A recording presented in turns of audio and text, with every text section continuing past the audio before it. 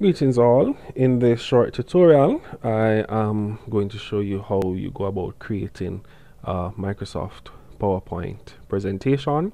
And a presentation is actually used to help presenters to present the data or the information that they would like to portray to some intended audience. So I'm going to actually open Microsoft PowerPoint by going to my search icon here and I'm using Windows 10 so I do have an affordance of actually opening PowerPoint through those means. Moving a little bit too fast here. And I actually have a PowerPoint document already opened. Let me create a new document so you can see what that looks like. Microsoft Office has a number of templates here that you can choose from for our purposes. Let us try using a blank presentation. And what we start off with is a blank presentational slide. The click to add title will give you an option to actually include a title. So because this is actually the very first slide that the, the audience will be seeing you want to give it the title of the overall presentation. So how to give a presentation for example and you would of course put your name in there.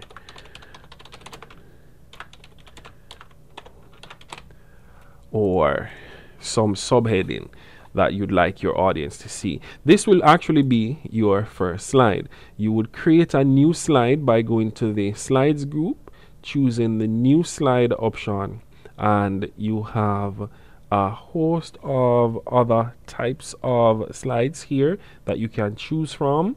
The one that is most pertinent to the type of data is the one you should include. Most people choose the title and content because that allows you to put a, a, title in that slide as well as some specific content. For example, my second slide on how to actually give a presentation is let's say be confident and that's the title of that slide and you might include bullet lists within PowerPoint in order for you to be confident you must project your voice for example. Project your voice and we should probably do that with caps so project your voice.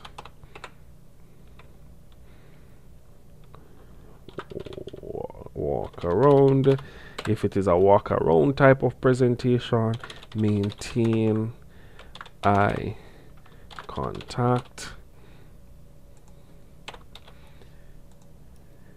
okay know your data you must know what you're presenting and so forth and so on. Note that you could also include within powerpoint you could go to the insert function and choose from the images group to include some online uh, pictures in there. Using Bing image search we are a little bit limited. They do not give you the option of, of using Google within the application itself. So even though you might have purchased a copy of Microsoft Office Microsoft will actually tell you how you can use your copy of Microsoft Office. One way in which they do that is by limiting you to Microsoft application. So within here, you have to use the Bing image search. For now, um, we, we might look at how we go about changing that later on. Um, so the Bing image search, let's search for something that is relevant to what we're doing. Presentation, for example. You might search for speech, you know, something along those lines. Uh, choose the picture that you want. There are many pictures that will come up. These are all pictures on the web. Once you've chosen that picture, simply hit insert and you could choose to move or resize that picture on your page accordingly okay we could then create another slide by going back to the home tab choosing the new slide function. The title and content probably works well. And for my next slide I'm going to say let's say add visual content. And note that I don't have to actually work with the, the text in here. I could choose to add some video that I have on my, my site or uh, within my my files or I could add a table I could add a chart. Let's say we're adding a chart for example. We could choose let's say a column chart and hit OK. And Microsoft PowerPoint will give you a small Excel file at the top that you would change the labels and maybe even the values to represent your data once you've done that you could close that excel file you could change the chart title and you could resize that chart just so that you you if if you do have additional information on your page or on your slide rather. If you don't then it's fine if you have the chart really large. I'm going to go to my insert tab and i'm going to choose text box. I'm going to insert a text box here and within my text box i'm going to include some other type of information like this chart represents represents sales for the past year. Right? I might even I could even turn this into a, a bullet bulleted list uh, sales are representative of figures monthly. Next year will include larger percentages. So so we're actually creating information as we go along. I could then choose to select my text box that I just created and I could turn that into a bulleted list. Not only um, am I able to do that? But if you have a PowerPoint presentation that has a number of slides with bulleted list, it might be, be more aesthetically pleasing if you should actually right click within the bulleted list here and choose convert to smart art that is actually going to allow you to convert the bulleted list to some uh, visual um, smart art within that slide. So you could do that for all your slides with bulleted list or you could simply do it for a few slides. And note that depending on the type of information, sometimes we have a hierarchy of information, for example, um, and so you want to show that hierarchy using a smart art, or it is more along the lines of uh, a Venn diagram where some type of data is pertinent to other categories um, or maybe even directional uh, al uh, something along those lines. So you could choose the appropriate smart art to represent the type of data that you are you are displaying. Okay, so once you've done that, note that you can continue to edit the information within the smart art and so forth and so on.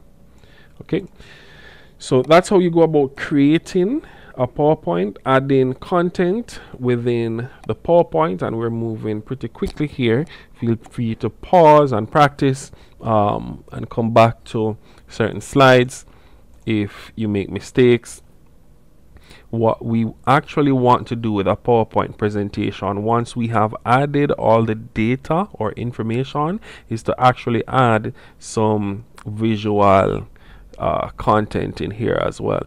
Um, so one way in which we could do that apart from changing the bulleted list to smart art and adding illustration another way is to simply add a design. Right now, I simply have these blank or white slides with data. If I should go to the design group, design tab, within the themes group, I'm able to choose an appropriate theme that changes the visual layout of my PowerPoint. N not only do I have access to a number of themes within this PowerPoint presentation. But I also have an ability to, once I've changed a theme, I have an ability to go to the variants group and choose different colors. I don't have to work with the colors that are there. I could choose a different color. And notice that once I've done that, it changes the colors on the the, the charts and my smart art as well which is excellent for these purposes. I could even choose to change the effects and how it looks. I could choose to change the fonts and so forth and so on. Another useful uh, tool within PowerPoint is the ways in which the slides change from from one slide to the next as you transition throughout your presentation. In order to see the presentation, for example, I'm going to go to the slideshow tab I'm going to choose from beginning and this is how my presentation looks so far. Might be prudent to add a, a picture here as well. Um, and, and note that while you're creating the presentation you could have chosen to move this text maybe a little bit more to the top uh, move this uh, subtitle a little bit more to the right depending on on how it works for you and the type of data that you're presenting. If I should click on the mouse or the arrow key on the keyboard, note that I simply move to the next slide. And if I do that once more, I'm simply moving to the next slide.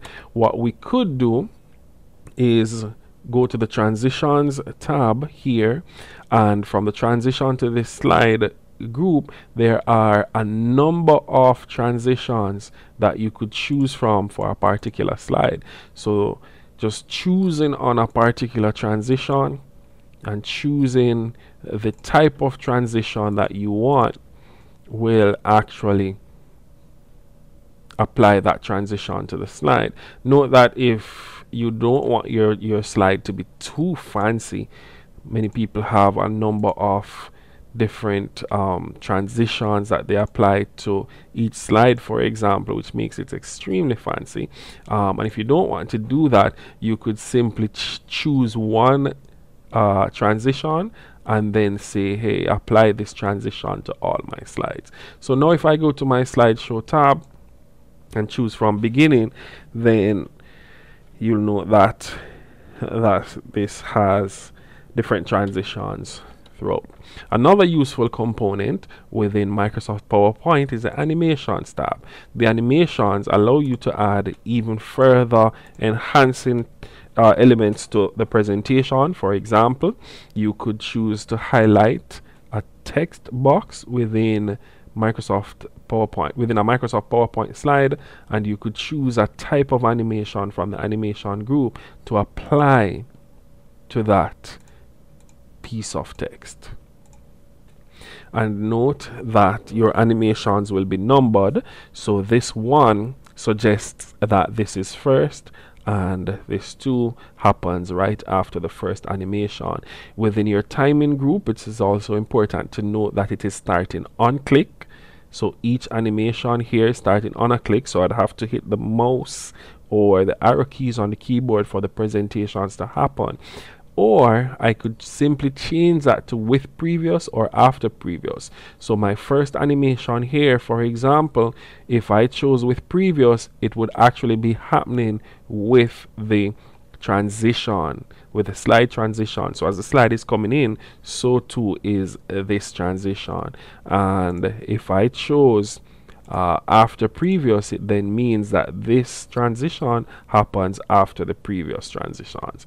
All right. So now if I view my slideshow and from beginning, then note that I am not selecting anything for the transitions to play, but I would need to select to get to my next slide.